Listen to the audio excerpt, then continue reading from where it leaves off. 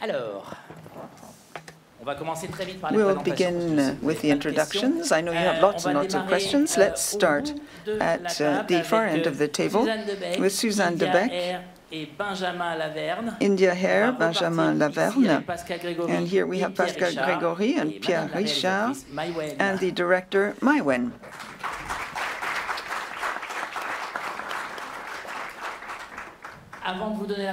Before I give you the floor, I would like to uh, ask you a very simple question. It was very beautiful to see how moved you were after the screening. I had the impression that you were all deeply moved. Yes, I was indeed. It's a film that I've been thinking about uh, uh, for 17 years. It was a sort of an obsession. I started working on it in 2016. There was a huge amount of emotion because the film was released at the same time in France, so it was a, a double the pressure. And for the actors? Euh, Huge emotion to see the uh, film on the screen and share this with everyone. I discovered it yesterday. It was quite incredible to live uh, and experience this all together. It was wonderful. Yes, absolutely. Je, je confirme. I agree. Et, euh, non, non, c'était ma première fois. It was the aussi, uh, first time I was in Cannes too. So there's something quite sacred when you come to this temple of the cinema. We were defending a real group film. Cannes is an opportunity to uh, meet together as a team and see the film again on this huge screen. Gentlemen, I've often been in Cannes during the festival, of course, but this is the first time that I've been here with a film. So obviously I was scared stiff, but uh, I was very excited at the same time. I felt tremendous pleasure. Uh, commensurate with the warm welcome given to the film. It was a lovely moment. So I hope I'll come back for another one. I'd like to thank Maïwenn, for being here. Grâce à Maïwenn.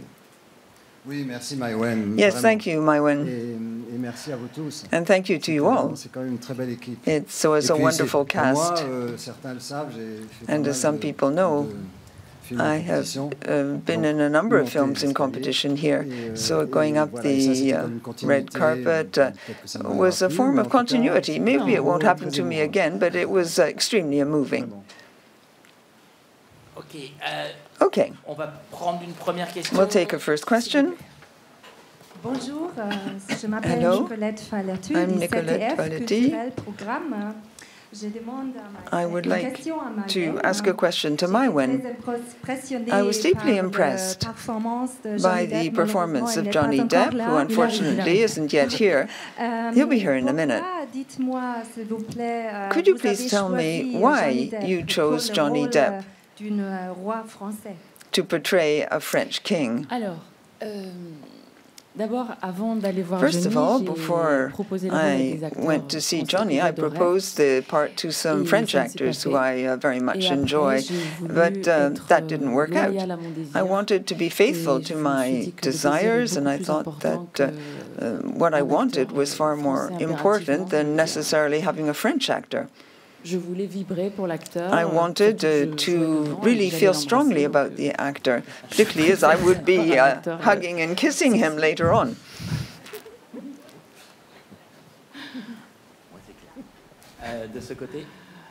Hello. Après, si, enfin, je, je, je, peux aussi quand même. Excusez-moi, hein, je suis un peu impressionnée, donc. Euh, I'm a bit impressed. Sorry. So perhaps uh, my answers are a bit short. Johnny, Johnny when I met him, was already very familiar with the history of France. He uh, often says in interviews that he feels very much at home in France. He said this for 20 years, and it's not just a posture. He's very curious about France. He loves the country. He's uh, very uh, knowledgeable about uh, French cinema, painting, and music. At no moment did I say, well, he'll have to study French history. He already knew much more than I did about Louis XV. And when I met him, uh, it seemed an obvious choice. We met at 3 o'clock in the afternoon and finished our interview at midnight, and we hardly talked about the cinema at all. I really uh, fell in love with him in this part. Hello, uh, my name is Ayako Ishizu for uh, Korea, Japan. And uh, the uh, question for Maïwenn, and well, why did you decide to not portray, I mean, uh, not depict the death of the Jeanne? Because, Excusez-moi, j'ai pas compris la question. Pourquoi vous avez voulu euh, ne, ne, pas montrer la mort de Jeanne, ne pas ah. aller jusqu'au bout de son histoire euh, Ça va quand même au bout de son histoire parce qu'on sait I do go all the way through to the end of her story. We know what happened to her towards the end, but I didn't want to film her death scene because I wanted to uh, stick to the love scene. Je me suis posé mille questions parce qu'il y a I asked myself many, many questions. I would have loved to film not just the death of Jeanne, but also other uh, relationships I would have liked to develop, particularly when she left Versailles and uh, how she reacted uh, to uh, his death. But I had to make choices. I felt, therefore, that uh, the part of uh, her life that I wanted to focus on was the uh, part when she's in love with the king les conséquences de, the consequences also de sa vie à Versailles, of her life in Versailles. Euh, were a very interesting aspect. I didn't want the film to look like a biopic, which ran through all the key moments in her life. I wanted to focus on the love story above all, and how uh, people in Versailles uh, spoke uh, disparagingly about her. That's what I wanted to film more than the key moments in her life. I noticed that in biopics, the films tend just to, to run through the whole life of these historic characters without going deeper into the human relationships. What interests me, above all, when I write a film, is to delve into human relationships and the paradoxes you find therein. Before I take another question, I'd like to put a question to Maïwenn and to you all as well. What surprised me in the film was this balance between tradition, how you describe all the customs in Versailles, which are sometimes quite incredible, and uh, the modern side of things, which is very relevant. We're not talking about uh, Marie Antoinette, where things appear more modern, but there is this modern aspect to the film. How did you manage to strike this balance in terms of the uh, performance of the actors and uh, the staging? Did you say, well, don't uh, act as though you were in a historical film? How did, how did you strike this balance. When I started to write the film, I had sudden, sudden realizations.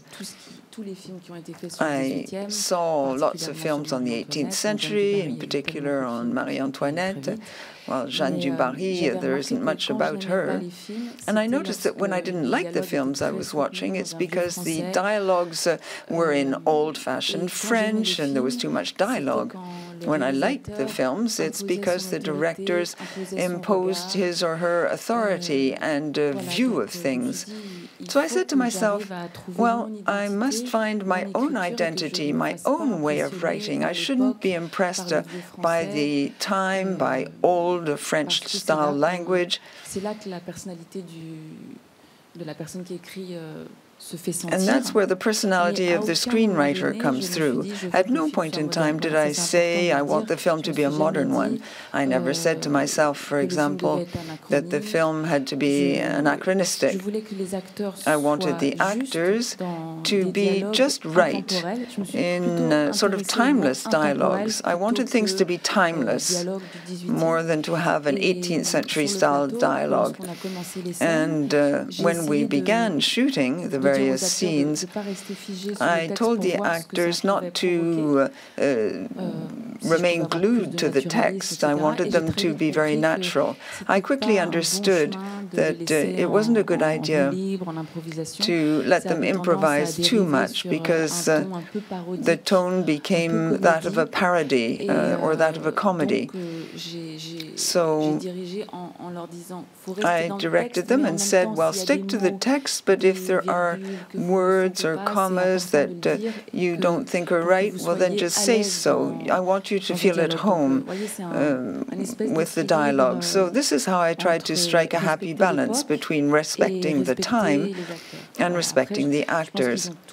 I think they all have their own way of uh, um, talking about the filming. I remember you said during the takes that we, uh, the actor had to be believable uh, as an, a person of the times. Non, mais sur l'aspect littéraire aussi de la langue, de comment there, on parle, As to the literary aspect of the language, we didn't want to feel that we were blocked in some dusty kind of language, but it was a bit like a laboratory. Um, people were saying, well, uh, look for this or look for that. We didn't want things to become vulgar in any way or too uh, popular. Euh, we needed to stick to the historical aspect, uh, but we were careful not to use too many ellipses. Uh, we didn't want to say, don't do this. Uh, rather, we felt it was important to say, do not. You had to uh, retain a given level of language in the course of the dialogues while searching for the truth and, and a certain frailty, of course. Uh, and so you said, well, try to say this in your own words. Well, I don't have uh, um, a feather pen like people did at the time. I don't know how people did write at the time. So often what we did was to revert to what was written. Also, I wanted to stick to the idea that in Versailles, spontaneity was not uh, something very proper. And this uh, euh, can be seen in the characters in Versailles. My character could be fairly spontaneous, and that's what I was looking for. I wanted uh, Jeanne's charm to uh, be quite clear and come through in the film. But as to the others, they had to be very upright, uh, euh, strict, uh, and proper. Was, there was a lot of etiquette in Versailles. Appearances counted a lot. Bonjour, Madame. Bonjour. I have a question about the character Zamor. How much of research did you do in um, making his character? First of all, was he an actual character in history? I know that there were certain um, children from Africa who were sold into as pages or slaves back then, but how much, how historically accurate were you in with Zamor, and what was your thinking uh, in in making him um, in the life that you portrayed that he lived with uh, Madame Jeanne du Barry? Ok, je crois avoir tout compris, mais peut-être ça Alors, d'abord, est-ce que Zamor est un personnage qui a vraiment existé So the question is being repeated. Did Zamor really exist as a character? And what did you really want to convey through him and his relationship with Jeanne du Barry? The character of Zamor did indeed exist uh, for real. I read everything that had been written on him. I hope that uh, it wasn't uh, a romanced version. In the first version, the relationship between Jeanne and Zamor took up a lot of space, and this is a, a, a story that keenly interested me. I always felt it was uh, worthwhile to say this and portray it. It was a way of saying that Jeanne was full of paradoxes. She loved the child very dearly, and then when he was 12 or 13, she rejected him. I felt it was important to show this in the film. It's a, a portrait of the time. And what was the next part of the question? Ah, the relationship at the beginning. Jeanne, and I hope you sense this in the film, has uh, strong maternal uh, feelings. She loved uh, Adolphe, her stepson, uh, uh, portrayed by Thibault uh, Bonenfant, and she was very maternal towards Zamor. She wanted to educate him and did her utmost to sure, ensure that he would uh, uh, receive an education. Unfortunately, how can I put this? She depended too much, perhaps, uh, on the way uh, the court viewed her, in particular the daughters of the king. So she, in the end, rejected Zamor. In Jeanne's head, in order to be accepted by the court, perhaps euh, she felt it was necessary to reject this young boy. I had to make choices, of course. The story of Jeanne and Zamor uh, deserves an entire film because it's so beautiful and strong and powerful while being harsh and violent at the same time. Zamor, it was said, uh, was one of the persons responsible for uh, Jeanne being uh, guillotined because he denounced her to the revolutionaries. But uh, he seemed to love her very much uh, when he grew up. Uh, euh,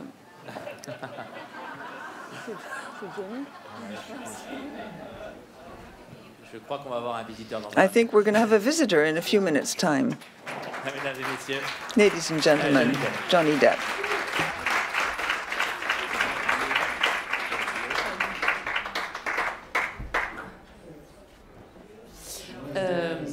Et donc j'ai perdu le fil. I forgot what I was saying.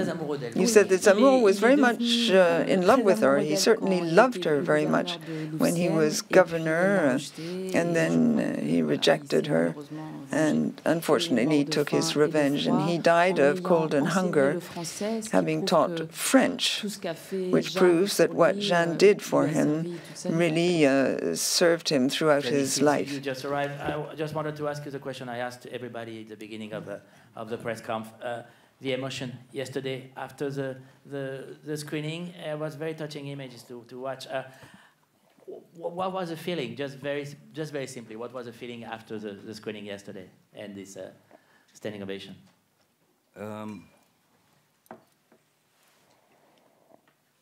for well, for a, a, couple of seconds, it sort of scared me because it felt like we were stuck in a loop.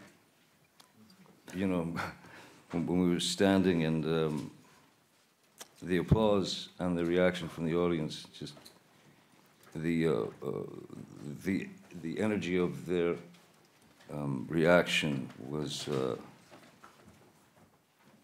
yeah it just seemed to go it just seemed to go on and on. And I, I, I was uh, I was yeah uh, you know you, you you become like a kind of a because we're all sort of mommies and daddies of the film in, in, a, in a weird way. Maïwenn, of course, this is her baby, but um, proud. I was very proud to to uh, see the comeuppance of uh, the result of good work. I haven't seen the thing, but I know it's good because they said so. and I trust them. All right, on va prendre une question. Oui, bonjour. Benoît Berthelot de Bloomberg. J'ai une question pour Bloomberg. I have a question for Maïwenn about the financing of the film. You said that the financing of the film was complicated. It received uh, financing from uh, Saudi sources. This is a, a, first for a French film. Were there certain strings attached for the film? Was this important? And then there was financing from Netflix too. Is the presence of Johnny Depp, uh, was that an issue for Netflix? Well, when it comes comes to the production, uh, you don't have just the Saudis. There are several uh, producers. It was uh, a film that needed a big budget. There were no strings attached in terms of the Saudis. I'm very uh, proud that it was produced uh, inter alia by the Saudi. Things are changing. I'd be very proud to go there and present the film. Things are changing. This is not the first French film produced by Saudis. Look at Red Sea. There are lots of other films. Uh, which are recognized around the world with uh, Saudi financing. As to Netflix, no, it was never an issue. I always said that I would make the film with Johnny, and Netflix and never raised the issue. On a une question par là-bas. Là-bas. I have a question about the relationship between Benjamin Lavernhe and Maïwenn, which I find is quite extraordinary. There's great restraint. But I'd like also to put a question to Johnny Depp. Were you surprised to be chosen for this role, and how was it to, to, to shoot in, in French? Was it difficult for, for you? Um, was I surprised? Uh, yeah. I thought someone had made a, there was a terrible misspelling somewhere. and my Maïwenn and I ended up in the wrong room at the same time. Um, my, my, I mean, I, I didn't really, I didn't, I didn't feel any hesitation uh, with regard to the, to the guy, to the character and all that. I, the, the, or the language necessarily I didn't find particularly intimidating.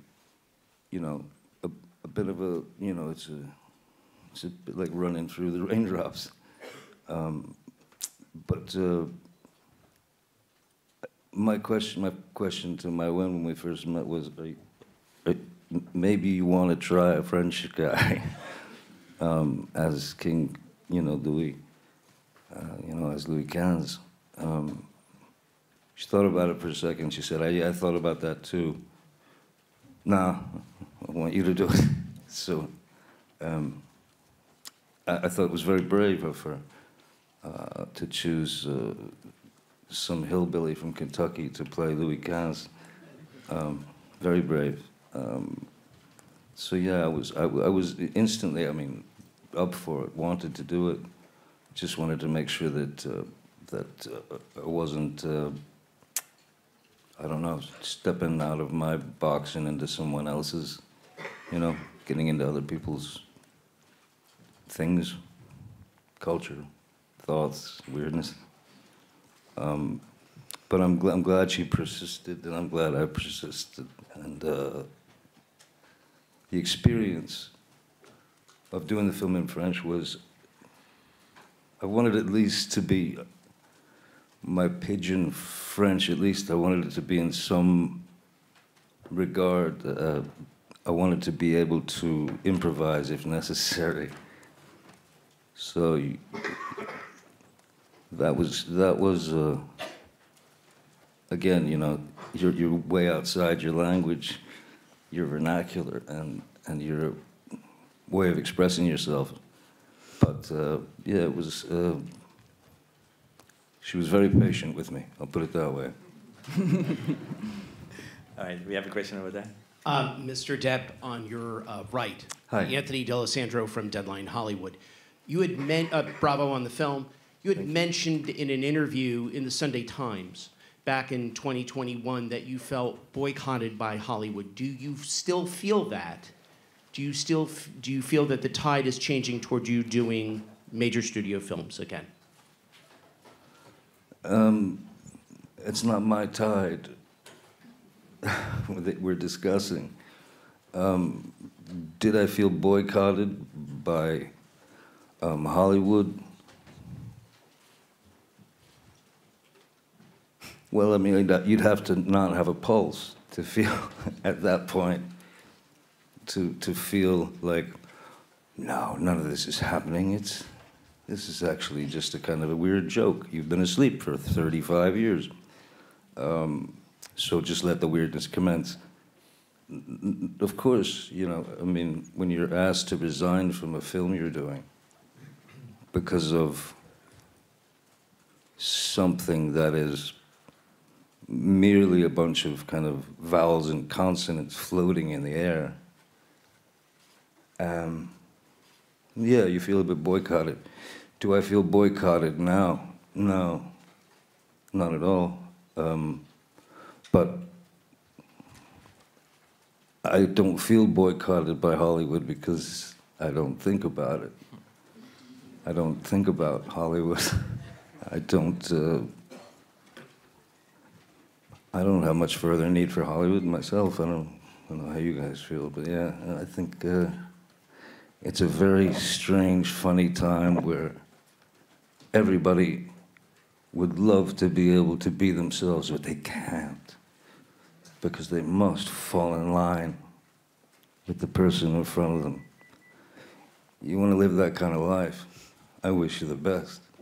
I'll be on the other side somewhere, you know. Question. Thanks. Oui, bonjour. Uh, Cathy Melen de la RTBF Radio Télévision Belge. Belgian I'm going to ask my TV. In English because it's for Johnny Depp. Hello. But Maïwenn, if you want to answer, n'hésitez pas si vous voulez répondre. Uh, Johnny, we know that Cannes is a wonderful place for movies, but it's also a great mediatic circus. So how do you feel coming here, coming back on the spotlight? A lot of controversy, not especially talking about the movie. How both do you feel with that sometimes toxic surrounding? Thank you. Uh, Je, je, ne lis pas la presse. I don't je read the press. Télé, I don't watch TV. I don't listen to radio programs about my film. Euh, je me protège. Je I protect myself in this way. I don't know what people are saying. What's uh, very important is to remain faithful to what one wants to do, to go through and finish the film together with the uh, cast and the crew. Peut-être qu'il se dit forcément des choses Maybe négatives sur le film. Negative things are being said about the film. I think all sorts of uh, rubbish is being said. But uh, that's what happens in Cannes sometimes. It's not my first festival. I know how things work. The film was released yesterday. It's uh, working extremely well. It's a great success, and I'm very happy. What happened now? What do I, what do, hi, what do I say now? Cannes, I mean, um, I first came to Cannes, it was like 92 or something. I came to Cannes accidentally, to the festival accidentally with Emir Kusturica, and um, it was a, absolutely a circus like I, nothing I'd ever seen. It remains the same and uh, I think that's very good.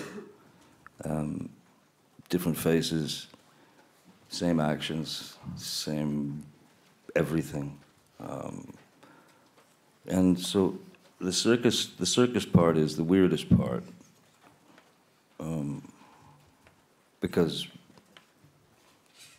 it, it's it's sort of like, uh, like you say, you know, people folks out there want to, well, I mean, you believe what you believe. The truth is the truth. You know, um, as far as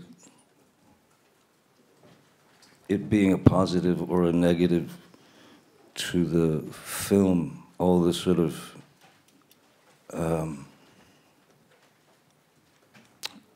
abstract whispers um, it, you know, but that all that does is it. Maybe maybe people talk about the film in this way, or they will talk about your work in in a certain way. Up to a certain point, but the fact is, like, we're all here because we made a film, not because we have a product to sell but we made a film. Everything that the majority of you who've been reading for the last five or six years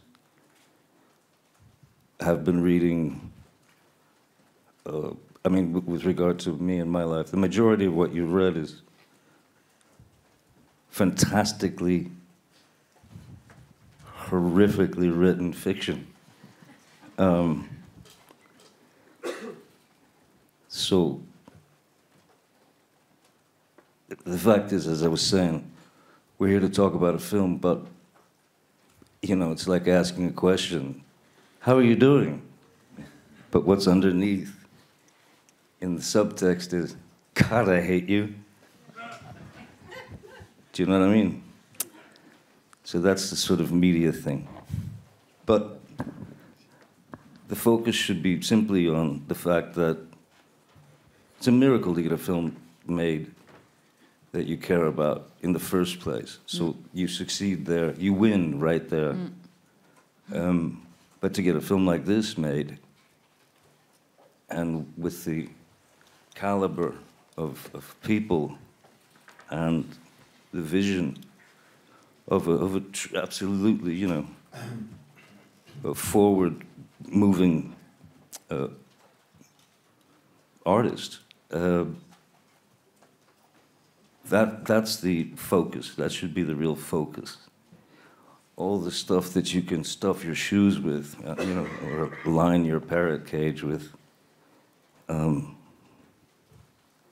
I mean, it's boring, isn't it? you guys sick of it by now? It's weird. $100,000 bird sings unrecorded Beatles songs. You'll get it later, I promise. All right, we got a question in the center over there. Hello, Florencia Angeles from W Radio in Colombia. Uh, tout d'abord, merci beaucoup pour les films. Thank you very much for the film. And a question for Johnny. Uh, how did you prepare this character? Um, you speak perfectly French with a good accent. I saw uh, Louis Quinze uh, uh, with you yesterday.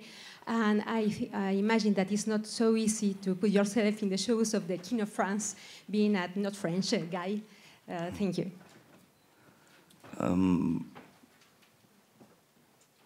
what was the, what was the original part of the question? I'm sorry. How did you prepare for the uh. Well, I knew that the first thing to focus on was most assuredly language, um, pronunciation, not the sort of you know you know, you can't use certain phrases that you'd love to use, like le cubo de nuit. Doesn't really work coming out of Louis XV's mouth, it I'm sure it did. Um, but so yeah, it, was really just trying to be as uh, precise as possible and uh, focused as possible. And uh, I had an amazing uh, French uh, coach, Mathilde, who uh, who was fiery and mean and abused me. I'm kidding. um, no, uh, she's a she's a wonderful French teacher, and she was there, and she was diligent, and she made me stretch my mouth in weird places. But I still like her. she's she's wonderful, and and also I mean you know, for them all the you know the, that's this is their native tongue. Me, I'm, I'm you know sort of flapping around and hoping that the next word will come out in some form of French. Um, that was that was fun, you know, because uh, yeah, I had a lot of help. Um, and mainly they felt sorry for me and just do a couple of takes and send me to my trailer. I'd cry, I'd lay there and weep for hours. No, um, yeah, no, I had a very good teacher and I had a lot of patient actors and uh, crew. Oui, justement, Moi, je me souviens qu'il ne le dit pas, mais He's not saying je this, sais qu'il avait un morceau de musique pour euh, chaque scène. Some a piece of music for each scene. Un morceau de musique pour chaque scène. Expliquez-nous ça. Bah, quand on, When, je sais que pour sa mort, euh, je crois qu'il. At the time of his death, I think he was listening to Bach. Voilà. Il était dans sa bulle et il he was in his uh, bubble, so to speak, and he listened to the music. He studied uh, uh, which piece of music he wanted to listen to beforehand. And when he turned up in the morning and he showed me the scene, there were arrows all over the place and drawings. Uh, voilà, c'était très impressionnant. It was very euh, impressive to see to what euh, extent he wanted really uh, to uh, um, convey his vision, his way of looking at things. Here you've referred only euh, to French, but I was euh, deeply impressed by de l'étude qu'il a fait, pas uh, seulement sur Louis XV, mais sur l'époque. Uh, his studying voilà. of Louis XV and, and the times, the epoch. For the other actors, what's it like to uh, act in French with Johnny Depp. At what point in time did you say, "Oh, well, it was it was okay"? Johnny is amazing. When he goes about his work, he's very warm. He makes you feel very much at ease and uh, he's a great star. And he says, "Oh well, you know, hold on tight. It's going to be a rough ride." And there's a huge amount of uh, collaboration working with him, and he's very humble. Uh, he was deeply impressive in this respect. Uh, we were all in it together, and uh, he enabled us to share things. That was very valuable because we have uh, we're sort of a duo. We have to give the impression that we know each other by heart heart. The valet of the king is his uh, closest uh, collaborator, almost his closest friend. Euh, but uh, we didn't have much text together, so everything had to be portrayed in, in our the way we looked at each other. So we had great pleasure working together, and and Johnny helped me no end. and he said to me, well, come on, let's work together and we'll uh, propose to Maïwenn that we edit this or add that. And I very quickly felt extremely at ease. I know it uh, really bore results. Euh, and very quickly, we established this uh, complicity in our work. I was deeply impressed when it came to the uh, French language. It's very difficult to pronounce the French R, and he managed it right euh, away, and he really looked like a king. I was quickly reassured and thought, no, it's going to be uh, very believable indeed. It's going to be fine. The first time I met with Johnny, I spoke to him exclusively in French. I didn't want to speak to him in English at all all, I was struck to see, and I'm not saying this because we're in Cannes, because uh, that doesn't influence me in any way. His French pronunciation was perfect. It's just that every so often he, he searched for the right word. in English too, euh, he says. But with the French R's and so on, everything Americans find it difficult to pronounce, well, he didn't have that problem at all. Hi, this is uh, Matt Donnelly from Variety. Um, Mr. Depp, related to what you said earlier, uh, there has been a bit of controversy about your presence here in Cannes regarding your past legal matters, personal legal matters. Um, what would you say to those who think you should not have been here at the festival? well, so um, we're talking theoretically about what would I do if there were people who didn't want me to come to the Cannes Film Festival? What if one day they did not allow me, under no circumstances, no matter what, I cannot go to McDonald's for life. Because somewhere, if you got them all in one room, there'd be 39 angry people watching me eat a Big Mac on a loop. Just for fun. Um, who are they? Why do they care? Some kind of, some species, some tower of mashed potatoes covering the light of a computer screen, anonymous, with apparently a lot of spare time. I don't think I'm the one who should be worried. I think, I think people should really think about what it's all about, really. Okay. We're going to get another, no. another one. Um, yeah. yeah. yeah. Okay.